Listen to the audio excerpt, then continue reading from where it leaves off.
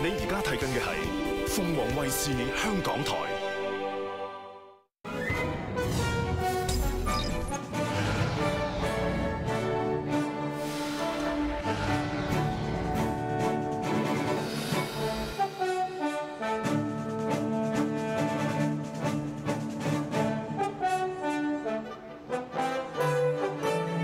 各位好，这里是中国太平保险凤凰全球连线，我是李科夫。第十一届香山论坛十二日起在北京一连三天举行，来自一百余个国家和国际组织代表团的五百多名代表以及两百多名中外专家学者，围绕“共筑和平，共享未来”这一主题分享观点和看法。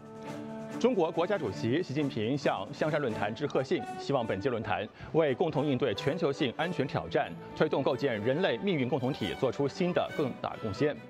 而中国国防部长董军十三号上午在北京香山论坛开幕式上发表主旨讲演讲，全面阐述中国军方对国际局势的看法。本届论坛设置了安全合作与亚太繁荣稳定、全球南方与世界和平发展等四个全体会议议题，以及围绕地区热点问题等议题的八个平行分组会议议题。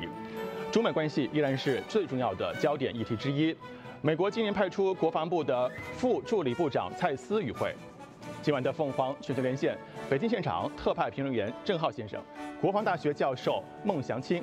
而在澳门现场，日本新系大学现代社会文化研究院副教授张云加入今天的全球连线，一起来解读本届香山论坛的特色，如何来解读国防部长董军所做的主旨演讲。而中美管控分歧的关键何在？双方应该如何避免擦枪走火的风险？如何看待全国、全球南方国家在全球治理中的日益重要的作用？